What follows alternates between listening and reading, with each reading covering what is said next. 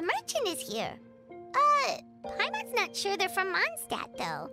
Let's go check it out.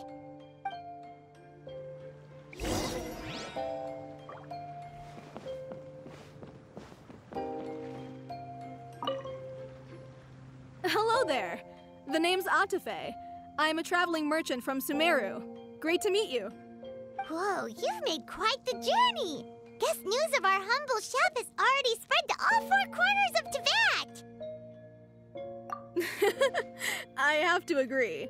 This venture of yours is becoming quite well known. In fact, many well informed merchants have heard word of your potion selling endeavor. But most people are still not willing to take a risk on such a rare commodity. If you ask me, though, when the opportunity knocks, you've got to be ready to answer. That's how you make the big Mora.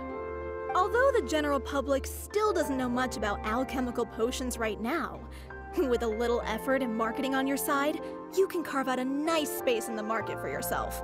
Once that happens, the Mora will just keep on flowing.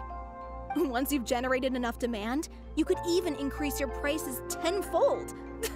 With that kind of profit, you could even take the rest of the year off if you wanted. Tenfold? Are you serious? as long as the demand is there, people will pay anything. You could say it's a sort of mutual agreement between consumer and supplier. With the way you talk, Paimon can't help but be reminded of a certain other Mora obsessed merchant. Wait, you did say you were from Sumeru. Maybe you know her. Ever met Dori? Wait, you mean Lord Sangemah Bay? One of the most famous merchants in all of Sumeru? That Dori? You know her? Wow. Lord Sangemah Bay is one of my biggest idols. Her business sense and dedication to making Mora has always been one of my greatest inspirations. I was even lucky enough to visit the palace of Alcazarzaray once. It truly is a magnificent sight. One day, I hope to be just like her. Up to my ears and more Mora than I can count. uh, looks like we lost her. Should Paimon snap her out of it? Or. Thank you. That means a lot. Back to where we were then. I believe I was telling you how we can make some big Mora together. The idea is actually pretty simple.